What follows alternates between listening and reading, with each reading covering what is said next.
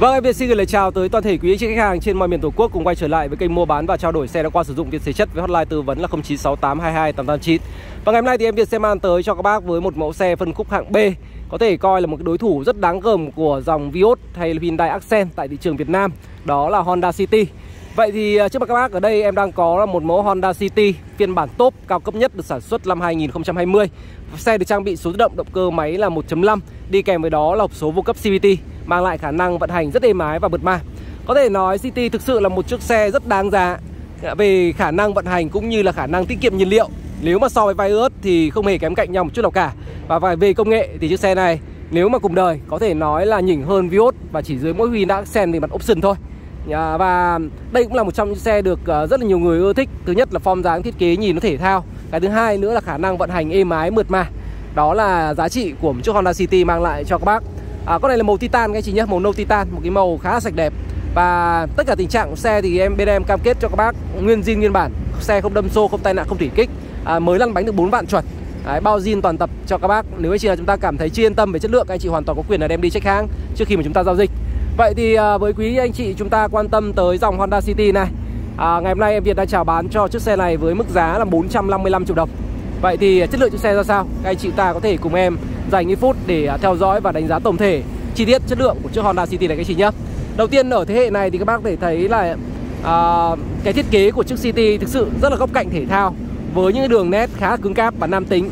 Ví dụ như là một cái mặt ca lăng với một cái logo Honda khá là lớn Đi kèm với đó là một thanh lẹp chrome.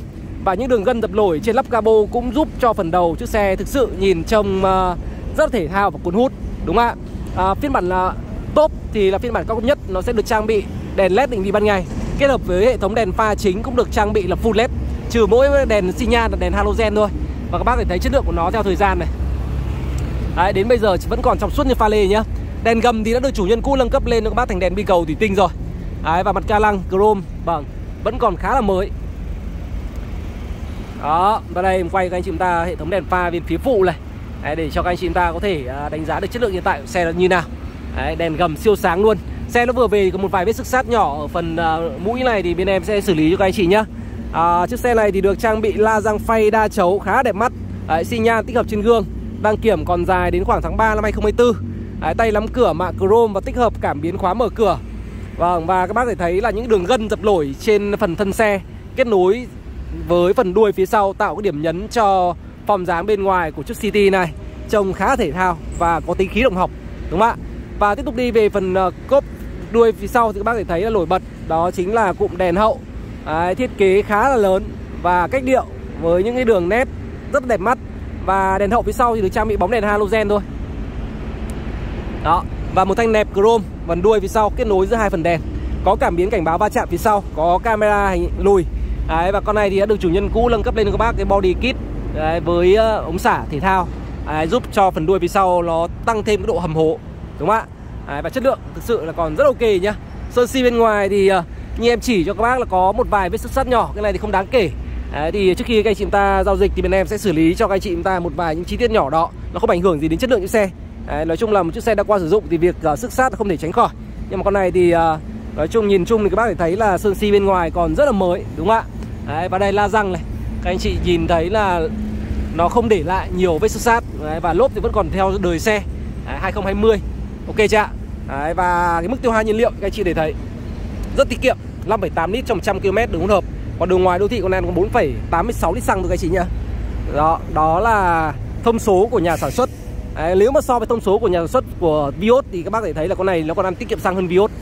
Thật sự là như vậy. Vâng vậy thì để tiếp đánh giá chất lượng chiếc xe thì ngay bây giờ xin mời các bác chúng ta có thể cùng em mở cửa và đi vào nội thất bên trong của chiếc Honda City này. Vâng và đây là nội thất bên trong của chiếc Honda City với phiên bản top đời 2020 thì uh, chiếc xe nó đã được trang bị ghế da rồi. Đấy, còn những phiên bản khác thì nó chỉ được trang bị ghế nỉ thôi anh chị nhá.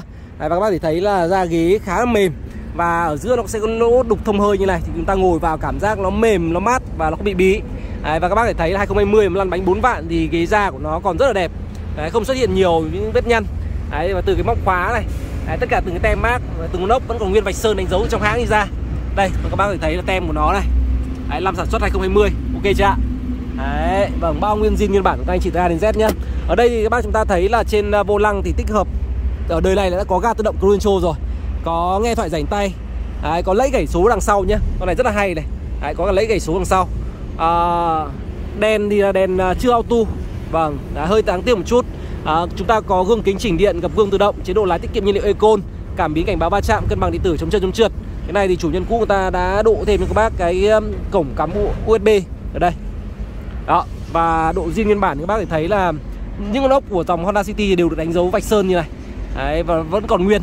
Đó để cái chúng ta rất là dễ dàng để kiểm tra độ zin nguyên bản của một chiếc xe nó như thế nào. Đấy, tay nắm cửa mạ chrome này ở bên cạnh là loa. Đấy, chúng ta có một kính auto nhá. Đấy, vật liệu đây cũng là da kết hợp với nhựa.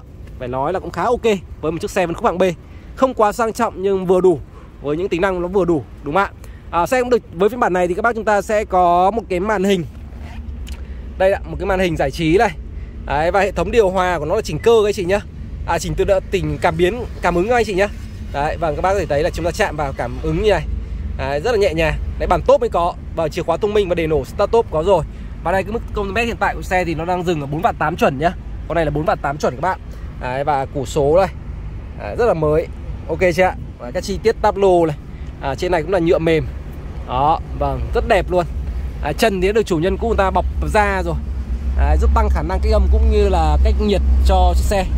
Đó vâng xe được trang bị uh, khoảng ờ, 4 túi khí.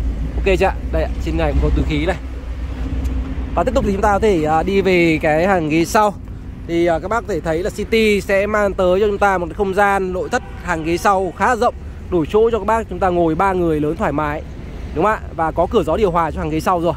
Đấy, đây là một cái điểm cộng hơn hẳn Vios đúng không ạ? Nó không có cửa gió điều hòa cho hàng ghế sau. Đó, và da ghế thì các bác nhìn cho em là còn rất là mới đây Đấy, còn rất là mới. Nguyên zin nguyên bản, trần này. Đấy, tapi cánh cửa thì đây. Đó, và chúng ta có thể tiếp tục cùng em kiểm tra cái phần cốp. Thì các bác thể thấy là cốp của chiếc City này cũng, cũng khá là rộng Đủ chỗ cho chúng ta có thể mang theo à, vài cái vali trong những chuyến đi của mình. Và chủ nhân cũ thì cũng giữ cái phần cốp này, cái chi tiết nỉ nó còn sạch đẹp, nó không bị bám bẩn.